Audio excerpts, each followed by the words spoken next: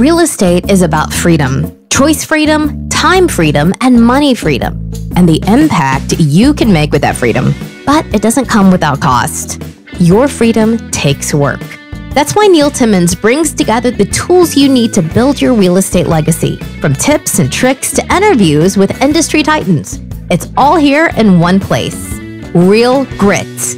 Let's get to it. Hey everybody, welcome to Real Grit. I'm Neil Timmins. Hey, I'm excited that you're here today. Um, we've got a great, a great guest, a good friend of mine. He hails from Tennessee. He's been involved in 250, 300 plus uh, wholesales plus fix and flips. He's got a, a hundred plus units that he's got owned, um, and he hasn't been in this business very, very long. So it's going to be a really fun story. So uh, Marcus Kurth is here from uh, from Tennessee. Marcus, how you doing, buddy? Good man. Yeah, happy to be here. I know we always have good conversations on our mastermind. So yeah, looking forward to this one. No, I mean I'm excited. It's uh it's good to catch up with you. Now we were just talking. You know, Tennessee's interesting in the sense that it's broken down into to multiple quadrants. There's probably three, right? Yeah. So I'd say you know you got the it's kind of the west, middle, and east Tennessee. Um, east Tennessee would be Knoxville. Middle would be Nashville. It's where I live and uh, run our business out of. And then you have uh, Memphis, which is a little bit of a cheaper market, and that's yeah. where we predominantly uh, decided to build our portfolio. So yeah, you got it. Three sectors. It's unique. It's interesting, uh, just given that you're in all of them, and each market is kind of uniquely different in terms of what you might do in the market. Definitely. Yeah.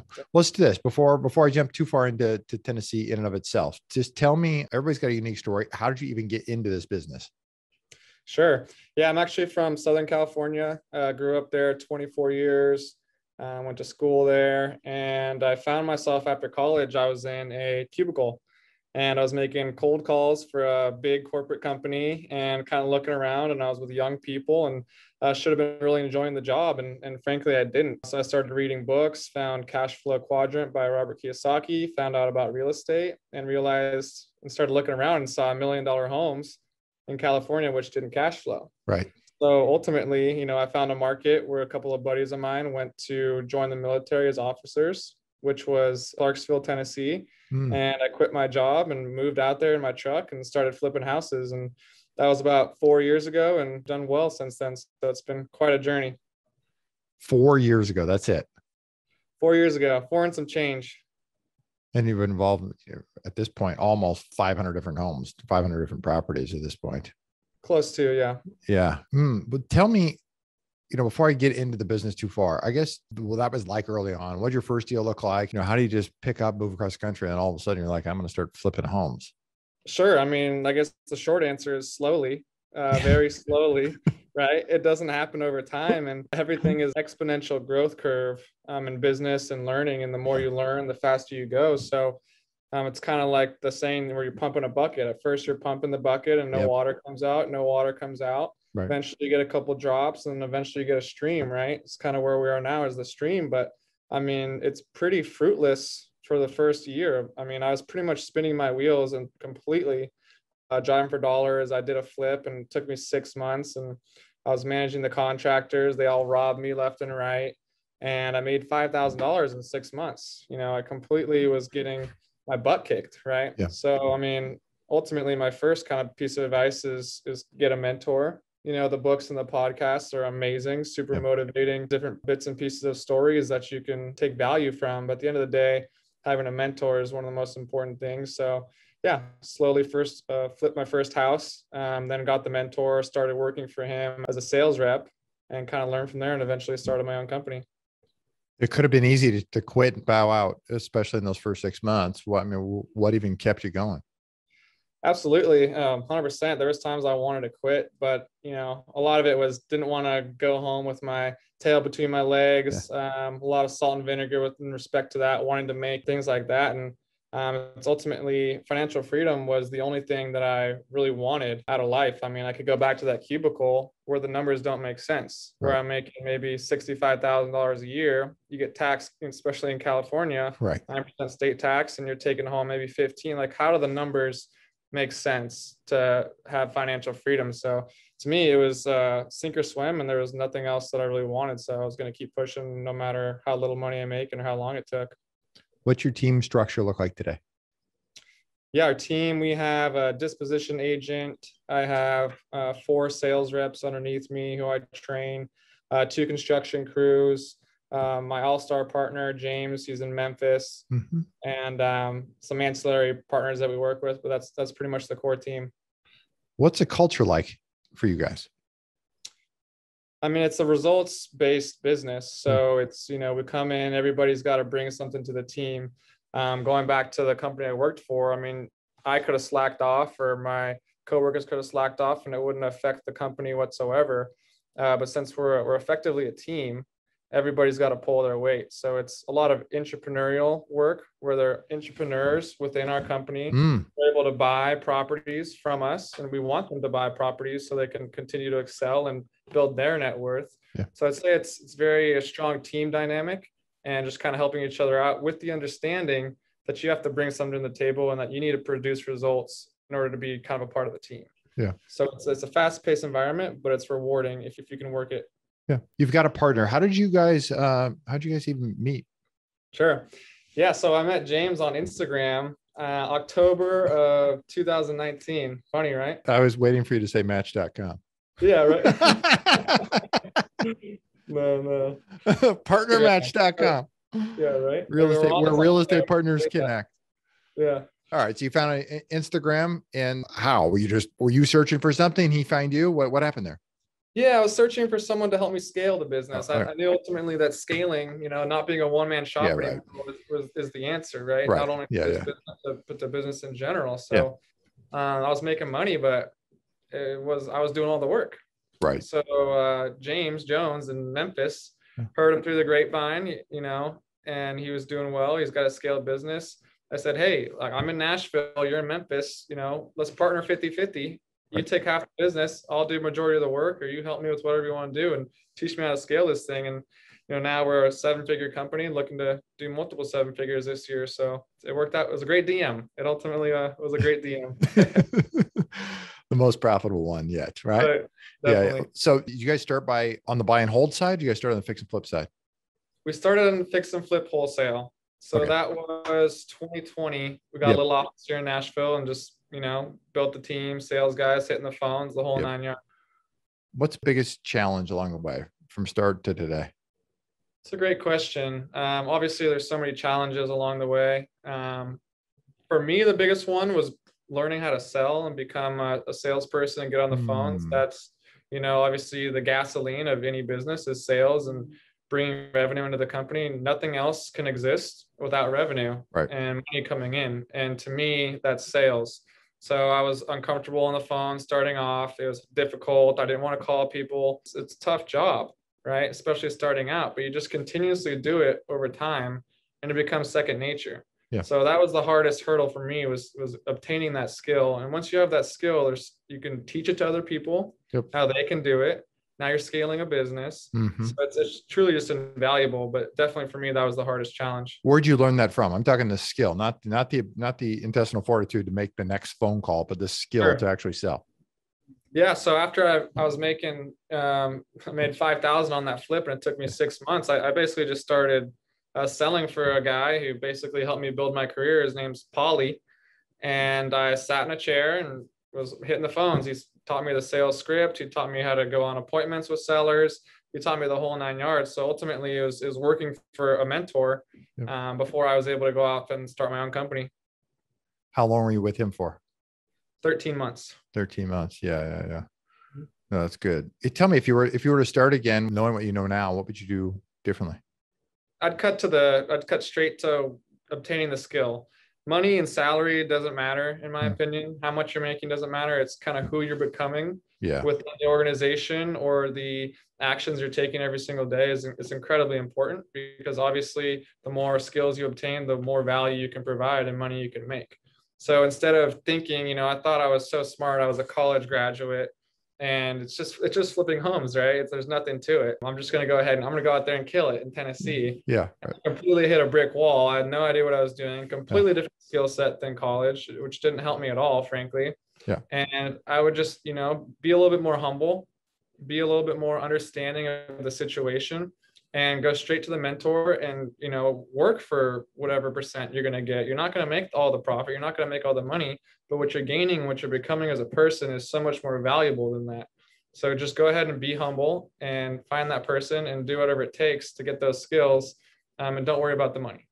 That's that's my advice. What i heard you say is add value. Find somebody you want to be like really. Sure.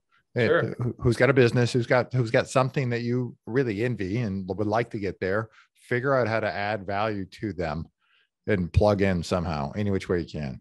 Absolutely absolutely. I mean it has to be 100% a two-way street. I mean my polly and i are really good friends. We still do deals to this day. Yeah. um yeah you just add value add value add value because at the end of the day nobody's going to help you if you're not helping them. It's absolutely got to be a two-way street in business yeah. Talk to me about um, business today. Where are things right now? You've got a bunch of a bunch of rentals, nearly 100 rentals at this point. Right. Um, maybe talk to me about specifically that that portfolio. Uh, when did you sure. buy your first rental, and, and, where are you guys at today? And what's you know what's management of that like for you guys, sure. maybe specifically for you? Yeah, absolutely. Um, it's been a mountain, definitely, but uh, worth it. You know, we attained the goals that I initially set out when I quit my job, which is you know financial freedom, which yeah. obviously is a certain amount of money per month. Um, so about 18 months ago, I think June, uh, it was in the summer, we bought our first rental, and we scaled from there while simultaneously uh, growing the wholesale business. So in about 18 months, we bought 101 units. Um, did wow. a lot of construction to all of them. Uh, James is just a monster of a rehabber, multiple crews yep. in Memphis. Um, just a complete, you know, he's a he's a beast. So he's rehabbing five, six houses at once. You know, we're buying, continue to buy, and then we'd refinance. So hard money, low, uh, short-term debt, and then hmm. refinance on a long-term debt, and then fixing them up as we go along. So um, we just refinanced, I think, two or three weeks ago, our last portfolio of 14 because we'd refi in, in uh, packs. Do them in chunks. We yep. refinanced our last 30, yeah, on a 30 year debt. So that's all stabilized and ready to rock and roll. So that was a, definitely a big sprint, but um, definitely fruitful. So if you got 101, what's the unit? What's the makeup there? How many single family homes? What what apartments? Yeah. What what's that look like roughly? So we bought a six unit apartment, a 10 unit apartment, a 14 unit apartment, and the rest of them are single family homes with maybe a couple triplexes and duplexes thrown in the mix. Got it. A lot of single families then. A lot of single families. Yeah, yeah, yeah. What's been the biggest uh, challenge or learning curve going through, you know, acquiring, you know, just it's one thing to fix and flip a property. It's another thing to fix it, tenant it, and manage it times 101. Yeah, absolutely. I mean, there's a ton of, of learning curve to go through there. I think the biggest one is capital structure. Mm. Um, so we go off and buy these properties. It needs to be, most people won't loan you 100% of the money. Right. Right. They want you to have skin of the game, 10% down. So you, what you really need to do is have a plan going into this property in order to scale it quickly of where the money is going to come from. So frankly, in my opinion, I wish we, uh, it would have been better to move a little bit slower, but we ultimately pulled it off.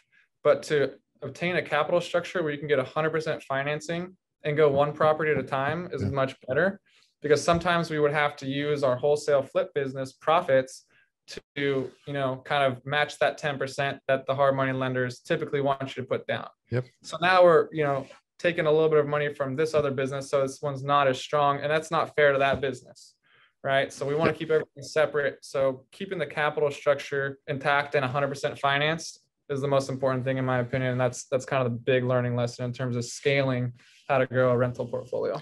How did you decide what to put in the portfolio on the buy and hold side versus fix and flipper versus wholesale? Or are they completely different assets or coin toss? What what is that like?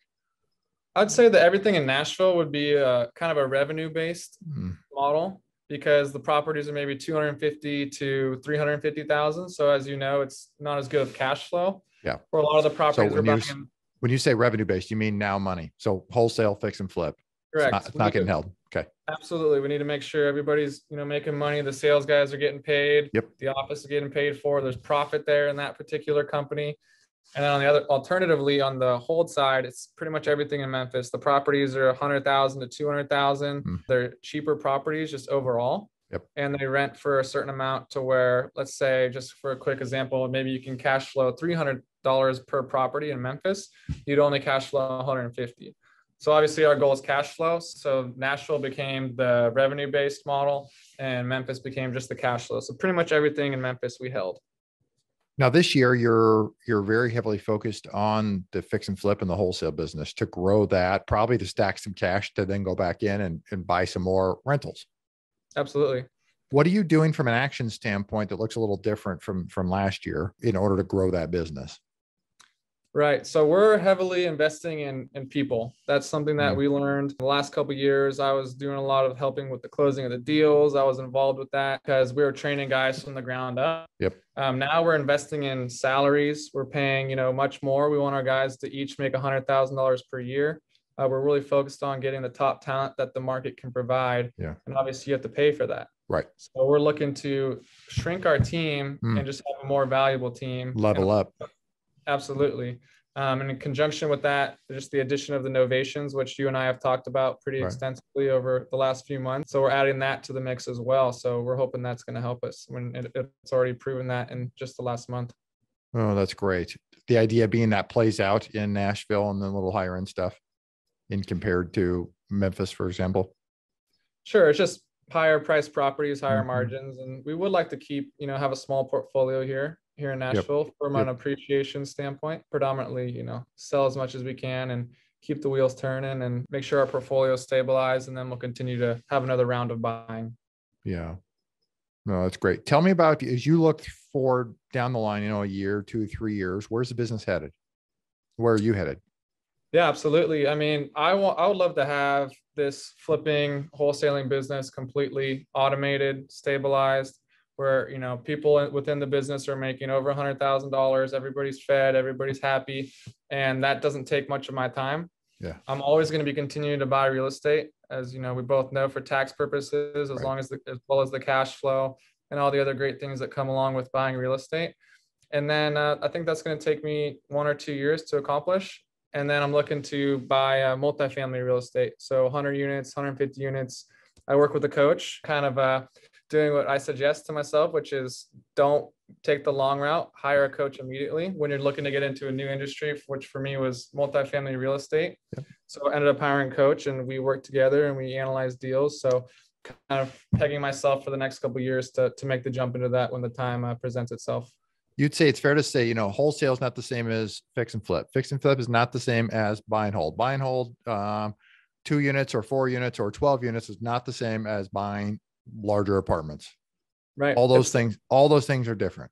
Sure. Absolutely. And, you know, from on a paper, it kind of seems like it would be relatively similar, right? Correct. But you dive into it and you can't believe how what seems like such a small shift is a completely different world and different skill sets.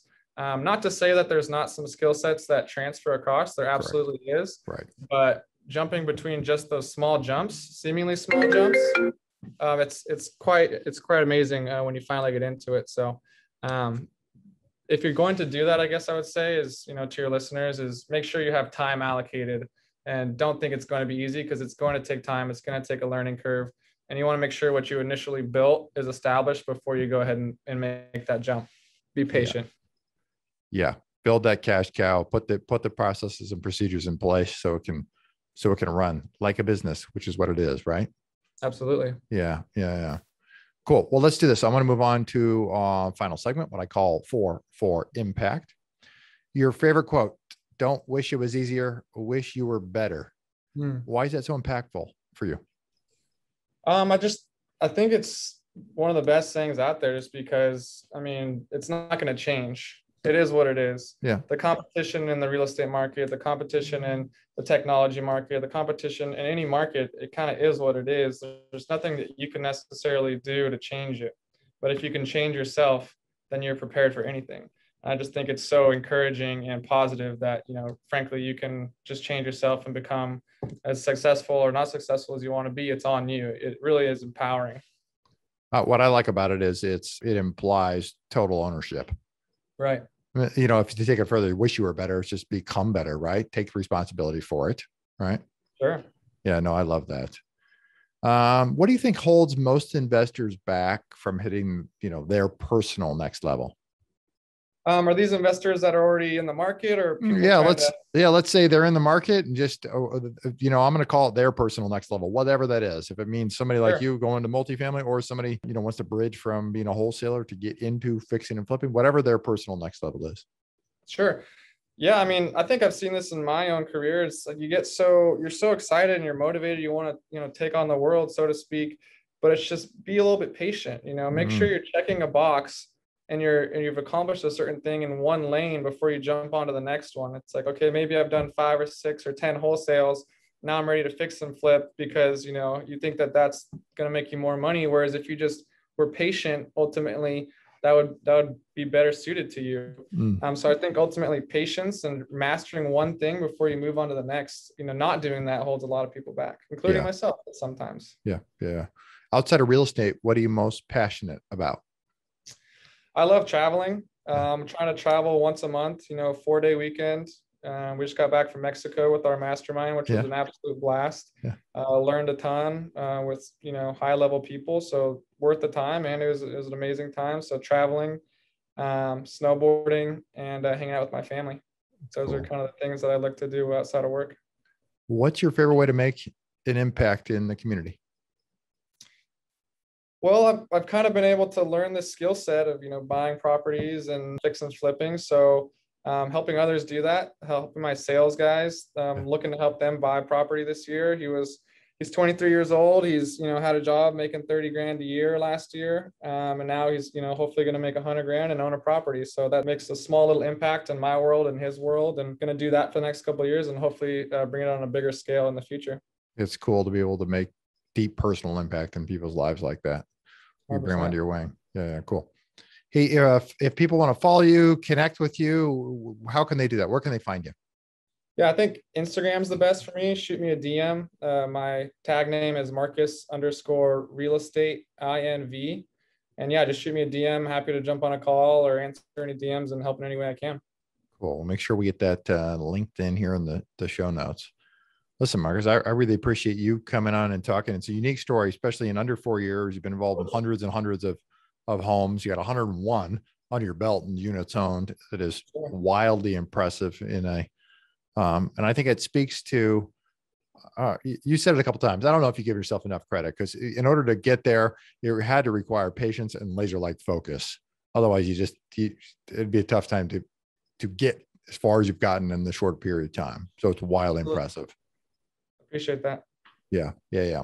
Thanks a ton, and we'll we'll make sure we put the the connection with you for Instagram in the show notes for anybody. So for everybody here at Real Grit, I'm Neil Timmins reminding you that real estate requires real grit. I'll see you next time. If you like our content and want more, you can access it at realgritpodcast.com. You hear it guest after guest. Instinctively, you already know it. But let me call it out. The most expensive action is inaction. The real estate market is full of opportunities. You just need to uncover them. You can build a business that lasts for years, makes monumental impact in the lives of those that you love. It's not just about business, but about the freedom you get because of it. Have you ever heard the saying, if you want to go fast, go alone? If you want to go far, go together? I believe that partnering is essential. In fact, I partner with hardworking investors all the time. The point is that you can get a lot further with the right partner. Let me say it again the right partner. If you've ever thought about partnering with anyone, or if you have a partner now, I encourage you to download my free Partner and Profit Guide, which includes the top five must answer questions to evaluate a profitable partnership. You can find it at www.legacyimpactpartners.com. I'll see you in the next episode.